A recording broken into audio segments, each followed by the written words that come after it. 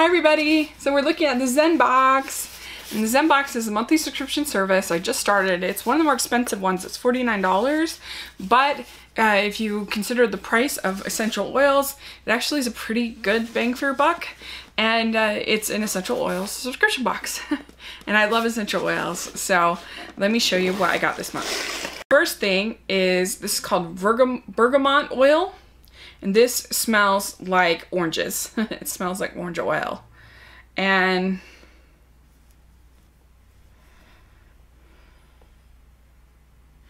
the only difference between these and my doTERRA is that these are external only, which doTERRA you actually can digest some of them, which is different.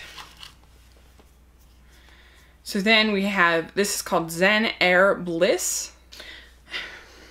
And this also has a really fresh, airy kind of consistency, a citrusy kind of feel to it. It has ylang ylang oil, orange oil, bergamot, magnolia, uh, and other other things. So that'll be really good.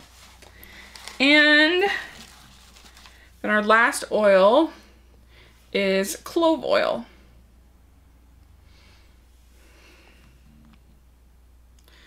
100% clove bud oil.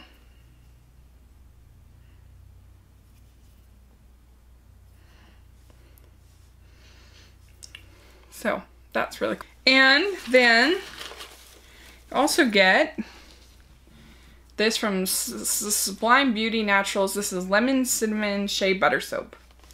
So that's actually a pretty good deal for everything, for all three of these essential oils and the soap.